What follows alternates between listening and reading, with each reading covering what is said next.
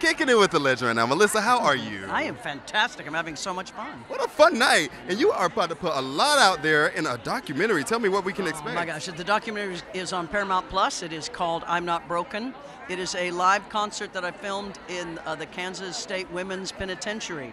And it is about it's about women and how they you know get there. We, we learn the stories of five inmates that are there and and music and how they affected me. I wrote a song and how I hopefully gave them some hope and lifted them up. And it's just a it's a beautiful story, and I'm really proud of it.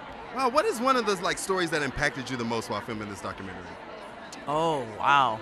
Uh, gosh, I, I wasn't like, ready to I talk wasn't ready. about that. You're I like. I've just been having fun, and here he know, goes. Here we go. No, no, no.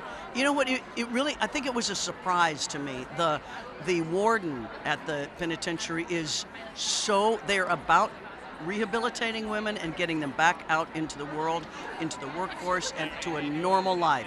There, it, so many are in there for drug addiction, you know, and and it, it's more of a. She says it's more of a mental, you know, facility than it is, you know, punishment. And I think if we as a as a human race can kind of start to look at it like that, and stop thinking about punishing and more about rehabilitation. So beautiful what you did. And you've obviously seen country go through so many different changes. Yeah. And now Beyonce's jumped in the genre. So how have you on. felt about what she's done eh, with Cowboy Carter?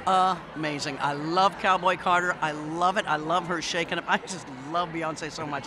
But just to to pay tribute to some of the great black uh, country women is I'm I'm all about that. But she, you know, all- country comes from black music you know it comes from that blues rock and roll comes from black music it, it's all that's the root and, and no matter what no matter what we want to think about it that's the truth and it's when you when you know that we're all one big family like that of course it's, Wow. of course it's wonderful music An icon living. Thank you so much. thank you so much it.